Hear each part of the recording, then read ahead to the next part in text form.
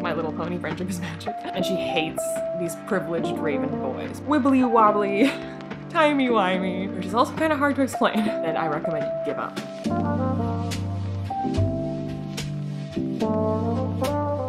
Hey guys, it's Liene and I'm here today to talk about The Raven Cycle by Maggie Stiefvater. This is a series that I have been a fan of for a long time, even though I only just finished it. Not the final book in the story of these characters, because there's a spin-off series called the Dreamer Trilogy, which I just started. The Raven Cycle is four books, and I have now read those four books. Today, I would like to talk about why I love them and help you figure out whether or not you should pick them up, because they are not for everyone. So obviously, like I said, I'm a big fan.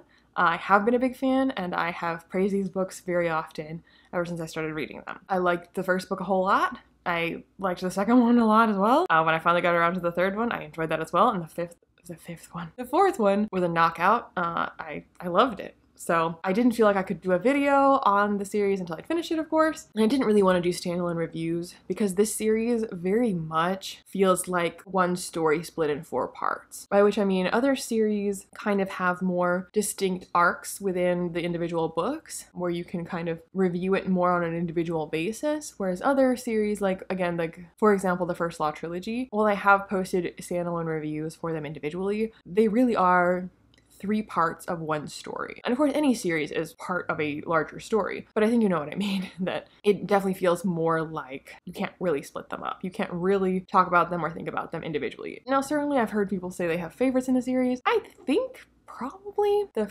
first and fourth ones are my favorites. It'd be hard to say, because again, I, they kind of bleed together in my mind because they're all they don't really i mean an example which we're not reading harry potter anymore because she who must not be named is horrible but those books, even though they are part of a larger series, even though they are part of an ongoing story, each book is conclusively like one year of school where there is a villain of the book and you defeat that villain and then you come back next year for more. And like overarching plot does continue to develop, but you can distinctly say like this book you remember being better than the other one because the big bad of the year was better or whatever. The Raven Cycle, I find myself not even really necessarily keeping track of how much time has gone by because they are in school. Uh, maybe I should explain what the Raven Cycle is if you absolutely have no idea and you've never heard of the Raven Cycle. So, the Raven Cycle by Maggie Stiefvater, it does take place in a school setting. We're following, I guess I would say five main characters. However, it's not uh, limited to only their POVs. We kind of get a bunch of different POVs as needed. It's not exclusively one person's story. It's not strictly the POVs of like this group of friends, which are the five. It's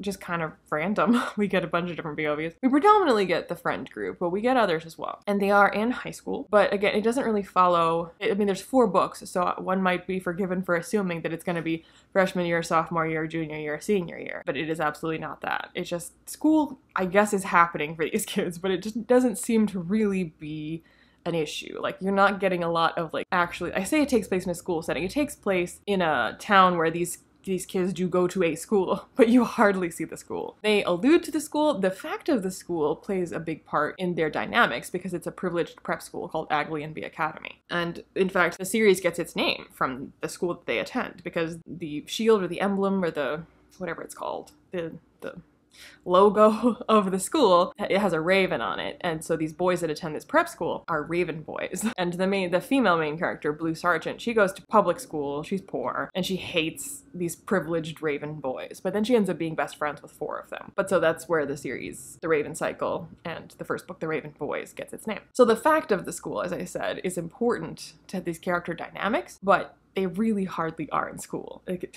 and I don't, I mean, Blue apparently goes to school as well at public school, but like you really never see that. So it doesn't really feel like school is a really great and convenient way to know the passing of time in books because you're like, oh, okay, well, it's this point in the school year, or like we moved on to the next school year. But since they kind of don't talk about school very much and you don't see them at school very much, school is just kind of like amorphously a fact in their lives, but isn't really a fact in the story. So what is it about if it's not about school? Which is also kind of hard to explain. So it takes place in Henrietta, Virginia, which is a, I actually don't know if that's a real place. I think that it is, but I actually have no idea. Virginia is obviously a real place. So this is a very rural kind of backwater place. And there's like this fancy prep school, but like sort of the town around it where Blue lives with her um, mother and her aunts isn't very rich or bougie at all. There's a lot of sort of nature, woods. Uh, it's not very industrialized. It's very much like the countryside, kind of. And what's also special about Henrietta is that this is a point where three ley lines converge. And so if uh, I believe all of the books, I may be wrong. Yeah, I think all of the books on the naked cover, I don't know if you can see on camera, it's pretty bright. Um, but all of the books have like embossed on them the three ley lines because that is central to the story. And um, on the spines as well, where it says the Raven Cycle, you can see the ley lines. And arguably, oh, he's definitely not the main character, but kind of the main character, or at least the character who sort of incites a lot of the action of the story is uh, Richard Gansey, and they just call him Gansey. And he's obsessed with finding this old Welsh king that was supposed to be buried, he believes, somewhere in Henrietta eons ago and that this Welsh king is, is has magical properties, and that when he was buried, he's really just kind of sleeping, and that he's been following all this sort of like mythology and legend about this Welsh king, and the belief is that if you find the Welsh king and you awaken him, then he must grant you a favor. And so the Raven boys, these four boys who go to Aglionby Academy, mainly because of Gansey, have been trying to track down their king. And so they're mainly doing this because Gansey wants to do this. The other three are just kind of in it with him, and then Blue ends up being in it with him. Now, Blue, she herself, and her mother and her aunts, her mother and her aunts are psychics and that's what they do for a living as well. So they do like tarot readings for people, they have like a hotline, and Blue lives in this kind of like chaotic house where it's kind of everybody for themselves all the time. They're poor, so everything's kind of like broken and shabby and used 10 times. She sews her own clothes. There's another reason she hates the privileged boys who go to Aglionby. She works, I think, at a diner. Uh, she's not at school, she bicycles everywhere. And again, it's like chaos at home. There's always like tea leaves everywhere, and her aunts are incredibly eccentric. And Blue herself, she's not a psychic, but she is uh, like an amplifier amplifier. So she can help her aunts be more psychic by being near or around them or touching them. And then as the series develops, anything else that is magical, anything else that is supernatural, is amplified by Blue's presence or by Blue uh, encountering it or uh, coming in contact with it. So that's Blue's deal. And then the other sort of setup for this whole situation is that her aunts, Blue's aunts, um, they sort of, part of their psychic deal is that there's, do they call it the corpse road? Um, they basically are able to see souls on this sort of like road to the afterlife, but psychically because of the ley lines. It's hard to explain, and that's mainly explained in the first book. But in any case, they see the souls of the dead of the future dead on the corpse road. And so they do see Gansey's corpse or Gansey's soul on the corpse road. And then later, when she actually meets Gansey and becomes friends with him, she holds this secret that she knows that he's going to die. She's seen him, his soul on the corpse road. I keep calling it the corpse road. I really hope that's what it's called. So as you can see, like, it's hard to explain because there's kind of a lot of pieces going on at the same time. And they're all kind of following up their own personal interests. And you begin to learn that there's more to all of these characters and their backstories and how they intersect and how their problems and their interests overlap or collide or are in conflict with one another. And basically everything becomes very wibbly wobbly, timey wimey, and bizarre. And so basically the vibe and the tone and what you're getting out of this series is these young people who are exploring all kinds of wondrous and unsettling magics that they don't fully understand as they're pursuing the quest uh, as they're pursuing their goal of finding the king, which is also kind of an amorphous quest. It's kind of almost like the white whale, so to speak. Like it's just become like a mission for Gansey where the mission itself is almost more important than actually finding him, and yet finding him is also really important and becomes more important as they begin to desperately need a favor. And there's like a lot of interpersonal dynamics that become interesting. There are, of course, other people who are also interested in finding this old Welsh king. And so that becomes dangerous if other people are out for this as well. So there's just kind of a lot going on in these books, which is kind of why it's hard for me to identify different arcs within the books or to explain it cohesively because there's just a lot going on. And so you're just basically following these characters and their messy relationships and the crazy mind-bending magics that they're coming in contact with. There's a lot of sort of nature vibes because they are kind of in the backwoods and a lot of the, the magic is coming from or is connected to this forest that becomes like a almost a character in the story called Cabeswater. and it's just it's bizarre. It is bizarre. And Maggie Stiefvater's writing style is also bizarre, but it's a bizarre that really works for me. So, like, for example, like I just flipped to kind of a random page because Maggie Stiefvater's writing style is kind of the same throughout, where like the imagery that she evokes or like the way she just goes about describing things or explaining things is unconventional. so, this is like the very beginning of the first book, so it's not spoilers or anything. So, we're kind of getting to know Blue and her aunts. So, unlike Blue, who didn't tend toward patience, Neeve was a regal statue on the old church wall, hands folded, ankles crossed beneath a long wool skirt. Blue, huddled, shorter and thinner, was a restless, sightless gargoyle.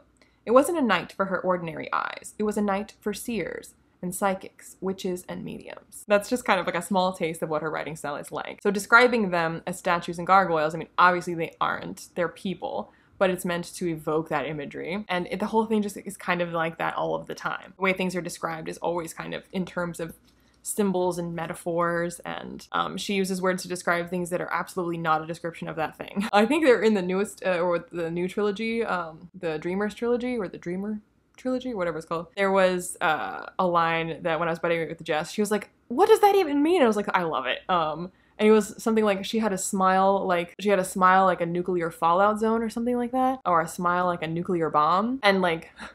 What does a smile, what does that mean?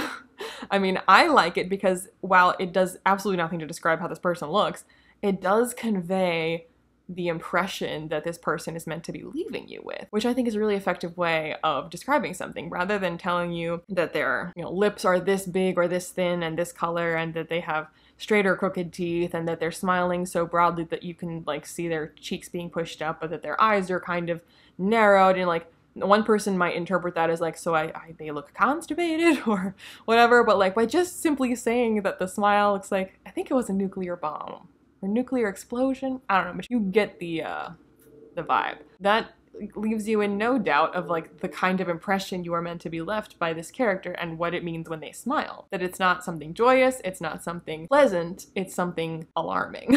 I think at one point too they say something like that Ronan Lynch's smile is like a razor. I think that might say that a lot which again is not helpful as an actual description. Like if you're an artist um, looking for a description that you can use to sketch them, not especially helpful. But as a reader, I have a very clear, clear image of my mind of like what type of person Ronan Lynch is. And Ronan Lynch is my favorite character, so I was very excited that the spin-off series is about Ronan Lynch. Ronan Lynch is one of the Raven boys, and uh, he's got a chip on his shoulder like none other. So her writing style and the type of story that it is is kind of just wild, amorphous, hard to pin down, but if it's your thing, then it's gonna be hardcore your thing. And if it's not your thing, it's never gonna become your thing. So like if you start reading the series and you're like, this writing style is bonkers and I what is even happening, then I recommend you give up because it's gonna be like that for the whole series. I personally love it. All of those wild descriptions, they totally work for me. And they really make this series like the evocative,